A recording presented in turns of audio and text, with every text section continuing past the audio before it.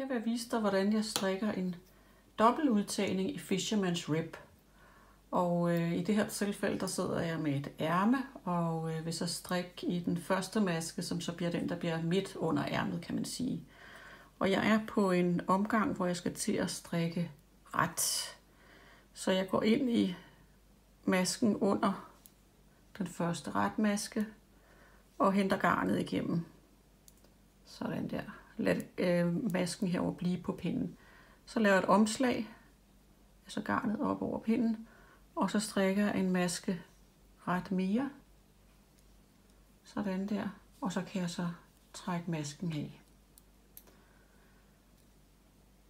På næste omgang vil jeg så strikke ret hen over de her nye masker, og så på tredje omgang vil jeg strikke dem med i mønstret. Jeg har strikket omgangen rundt i Fisherman Rib, og nu øh, kommer jeg til mine tre nye masker.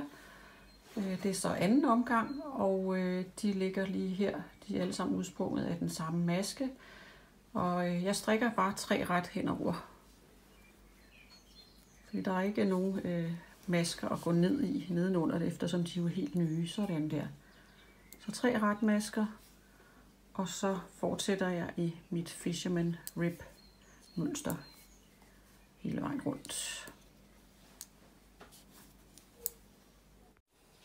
Nu skal jeg så til tredje omgang af min øh, udtagning, og øh, det er så anden omgang efter selve udtagningen.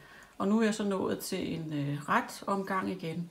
Og det jeg lige bemærker, det er, øh, hvad er det for nogle masker, jeg har liggende uden omkring mine tre øh, udtagninger. Og der ligger jo på hver side øh, en rang. Så den første maske øh, er en ret, og der går jeg ned i masken nedenunder, fordi nu begynder jeg igen at strikke mønstret.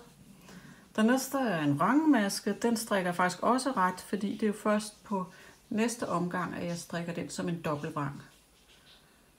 Og en ret i masken under igen, hvor jeg fortsætter i mit mønster her, altså ret hen over vrang og ned i masken under på retmaskerne.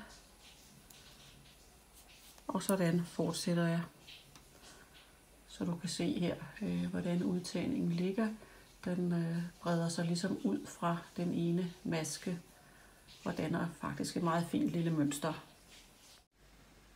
Her har jeg lavet en hel række af udtagninger over hinanden. Og øh, det man skal sørge for, det er, at man hele tiden øh, holder sig til den midterste maske, sådan så de kommer til at ligge på en lang linje. Og hver anden gang, så er det en retmaske, der er inde i midten, hvor man skal øh, lave udtagninger, og hver anden gang er det en vrangmaske. Jeg viste øh, før øh, retmasken, nu vil jeg lige vise vrangmasken, det er fuldstændig det samme. Så jeg sætter lige fokus lidt tættere på her, så du bedre kan se. Og øh, se, den her gang er det så øh, vrang, vi skal ind i. Og jeg laver den på samme måde. Altså går ind i masken, og trækker masken igennem uden at løfte masken af venstre pind. Et omslag og en ret.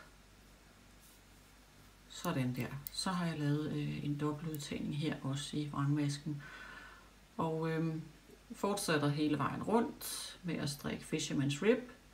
Når jeg kommer til anden omgang, så strikker jeg ret henover, og på tredje omgang strikker jeg mønster.